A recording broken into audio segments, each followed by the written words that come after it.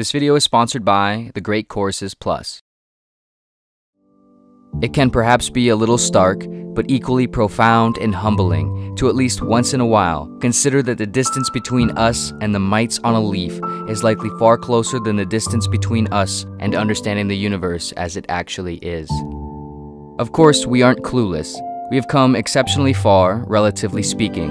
Unlike any other living thing, we are not only aware that there is a universe that surrounds and inhabits us, but we are also able to create models and equations out of it that have allowed us to extract understanding and fundamental laws of nature from the very surface of nature itself. However, despite our profound abilities and achievements, we still have some of the most basic, essential questions left unresolved on the table of everything. Unknowns that permeate into the quintessence of our existence and our experience of our existence that no one has been able to figure out since the start of it all.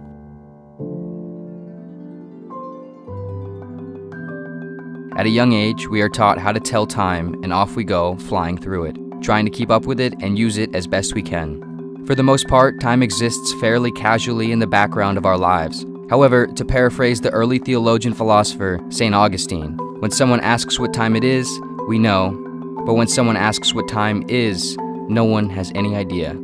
Starting from the Big Bang, everything moved outwardly through time and space in an increasingly complex and disorderly manner. By way of the second law of thermodynamics, we know that everything moves towards entropy, from order to disorder. This creates what is known as the arrow of time, which, as far as we know, only moves forward.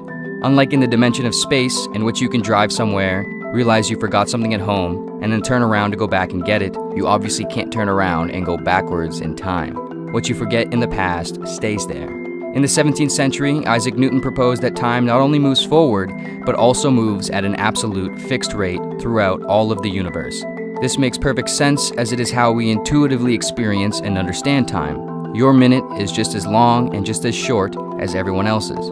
However, a couple hundred years later, in the early 20th century, Albert Einstein provided his theory of special relativity, which disproved Newton by revealing that time is far more malleable. According to Einstein's theory, time is in fact not constant or real in the way that we are intuitively accustomed to. Rather, it is personal, relative, and partly perceptual, as in, everybody has their own experience of time, and the rate at which time passes can change depending on what someone is doing and where someone is. This, however, would only become noticeable in extreme instances, like if someone were near a black hole or were approaching the speed of light, where in both cases, time would significantly slow down. Although profound and revolutionary to our understanding of time, this still doesn't answer what time really is, or why we appear to only move forward in it, or why time is a dimension at all, leaving room for plenty of additional theoretical models and arguments to be made. There are valid theories of the universe that don't include time as a dimension, like the theory proposed by an equation known as the Wheeler-DeWitt equation. Other theories suggest that time can be nonlinear and go back on itself at the end of itself in a sort of loop of displaced cause and effect.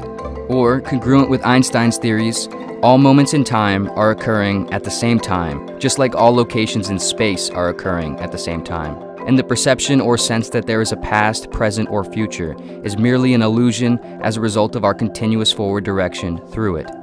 Of course, the point here is we don't know. We simply live with time, experiencing every moment through it, coordinating every activity on it, and allowing it to pressurize our every decision and sensibility. And yet, it could merely be an illusion created by the brain's feeble attempt to understand something that extends beyond its limits. To quote Einstein, we do not observe nature as it actually exists, but nature exposed to our methods of perception.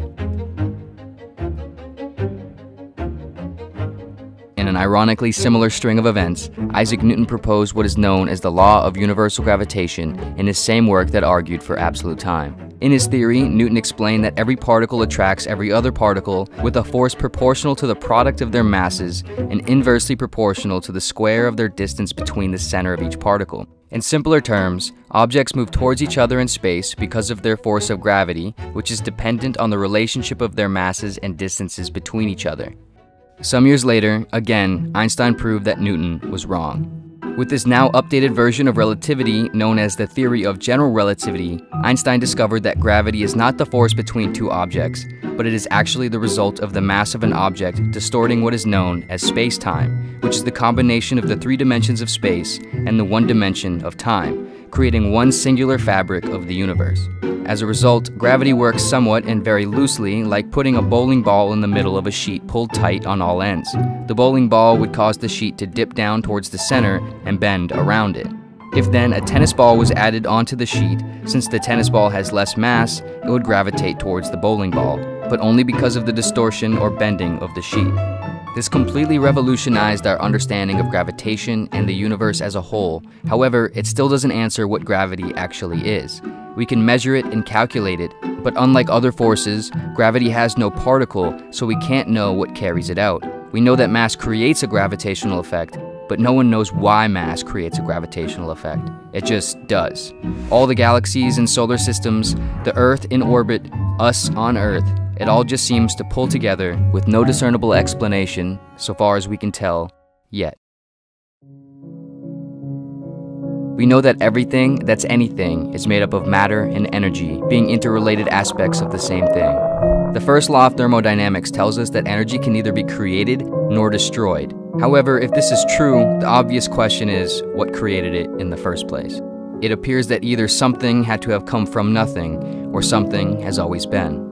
In the case that something has always been, if time can in fact be nonlinear and can infinitely regress in a loop, going backwards on itself at the end of itself, it would then be possible that there is no beginning or end of the universe at all, but a continuation of the same thing, as if the universe were breathing in and out, filling up its lungs with everything, and then emptying them back out, over and over. Or, similarly, everything is, was, and will always be across space time for all eternity. Every moment in time and location in space has a coordinate on the map of space-time, and the map exists at all times at the same time, forever. However, in both cases, if something has always been something, where did that something come from? Who or what made it? How can anything be anything without having been made by something else? If the universe is entirely based on cause and effect, which it appears to be, how could there be no first cause for there to be an effect? Alternatively, in what is known as quantum field theory, physicists have also found that particles known as virtual particles could come in and out of existence from apparent nothingness. Which is to say, it is perhaps possible that a feature of nothing is to create something. However, if a feature of nothing is to create something, how can it be nothing? And if nothing isn't nothing, what is it and what made it? Even if one subscribes to the notion of a God, that's fine, but that doesn't resolve the question of where a God would have come from. Everything ultimately brings us back to the same question how can anything come from nothing, or something be infinite? And neither concepts seem to concur with any human sensibilities, meaning there is some mystery of everything that our brains can't seem to comprehend, as if the rules of the game were made of logic, but the reason for the game were made of something else. The only truth is, of course, no matter what anyone says or how they say it, Nobody really has any idea what's going on beneath their feet, inside their brain, and above their head. Maybe at some point in the future, we, or some iteration of us, will know precisely how everything works and why, with one little equation. Maybe Newton will be wrong, and Einstein will be wrong, and thousands of other Einsteins of the future will be wrong, until someone, somehow, isn't. And maybe, for some reason, that's where we're heading. However, perhaps what matters is less about what it is or why it is, but that it is. That during this position of time and space, and in this form of matter, we can look into the nature of the nature of everything and see that nothing is simple and everything is insane, and that the only thing more insane would be to waste it by never marveling at how insane it truly is, never appreciating that we experience time, whatever it is, in a way that allows us to experience it at all that the effects of Earth's gravity is just strong enough to keep us on it, but not so much that we can't move around. That the exact structure of matter, with their exact forces, formed just perfectly enough over billions of years to allow us to emerge out of the darkness for a little, able to do this right now, able to enjoy the apparent magic show of everything, contorted somehow, just right for us.